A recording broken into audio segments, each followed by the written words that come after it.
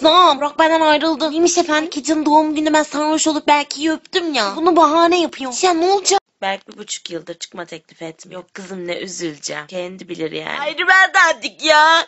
Buse Hanım ilk nasıl başladınız Vine'a?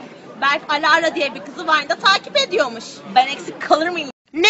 Bu saçla mı? Hayatta çıkamam. Kızım biri görür falan. Rezillik. Nesi güzel. Hale bak. Bana ne beklesin. Çok çirkin. Saçlarım